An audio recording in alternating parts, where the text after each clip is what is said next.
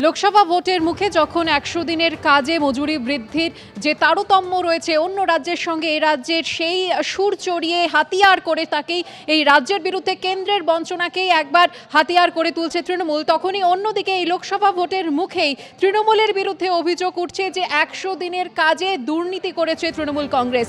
এর আগে তৃণমূলের বিরুদ্ধে যে অভিযোগ উঠেছিল যে মোদী সরকার যে টাকা পাঠাচ্ছে একশো দিনের কাজের জন্য, সেই টাকা তছরূপ করেছে তৃণমূল কংগ্রেস। আর এবার রাজ্যের দেওয়া টাকায় দুর্নীতির অভিযোগ উঠেছে সেই তৃণমূলের বিরুদ্ধে।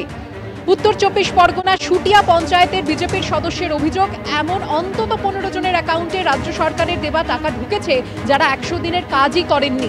এরপর জব কার্ড পিছু পাঁচশো টাকা রেখে বাকি টাকা তাদের দিয়ে দিতে বলা হয়েছে তৃণমূল কর্মী দেবেন ঘোষ ও ডলি মণ্ডলকে, যিনি আবার একশো দিনের কাজের সুপারভাইজার। আমার সঙ্গে বলেছে যে তুমি টাকা ফেরত দাও তোমার পাঁচশো টাকা দেবো। এখন তো করেন? না। কিন্তু টাকা ঢুকলো কি টাকা ঢুকলো কি করে? আমি কি করে বলব? পনেরো জনের অ্যাকাউন্টে পাঁচ পাঁচ হাজার ছ হাজার টাকা করে ঢুকিয়েছে। টোটাল একাশি হাজার পাঁচশো চুয়ান্ন টাকা ঢুকিয়েছে। আমি যেটা জানতে পারলাম সুপারভাইজার ডলি মণ্ডল এবং দেবেন ঘোষ নামে আমাদের এখানে লোকাল নেতা আছে। হ্যাঁ তৃণমূলের।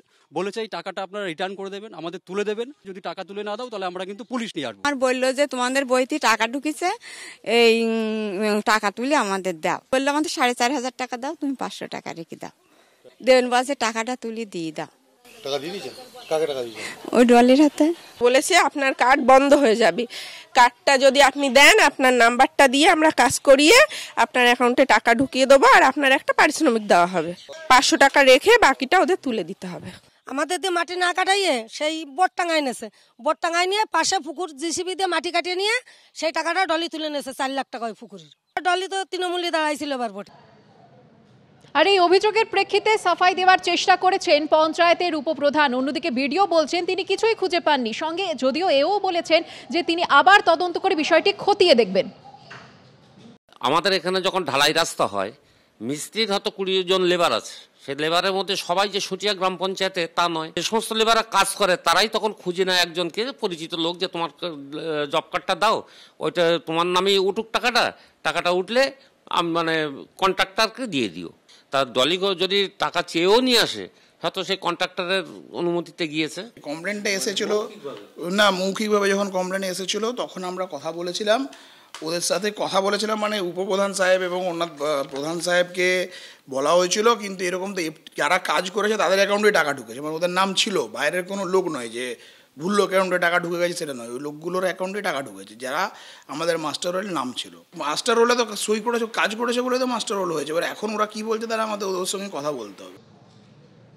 আর এই অভিযোগের প্রেক্ষিতে সুটিয়া গ্রাম পঞ্চায়েতের একশো দিনের কাজের সুপারভাইজার ডলি মণ্ডলকে ফোন করলে তিনি ফোন ধরেনি। কিন্তু অন্যদিকে তৃণমূল কর্মী দেবেন ঘোষ তার বিরুদ্ধে ওঠা সমস্ত অভিযোগ অস্বীকার করেছেন।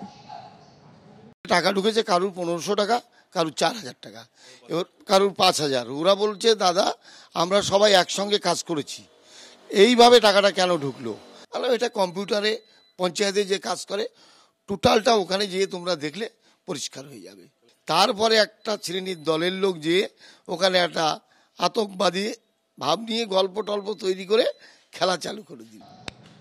গত তেসরা ফেব্রুয়ারি কেন্দ্রীয় বঞ্চনার জেরে প্রাপ্য মজুরি না পাওয়া শ্রমিকদের টাকা ফেরত দেবেন বলে প্রতিশ্রুতি দিয়েছিলেন মুখ্যমন্ত্রী মমতা বন্দ্যোপাধ্যায়। কি বলেছিলেন তিনি সেদিন? শোনাবো আপনাদের।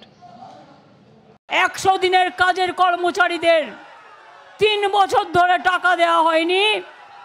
তাদের কাজের টাকাটা আমরা তাদের ব্যাংক অ্যাকাউন্টে পাঠিয়ে দেবো।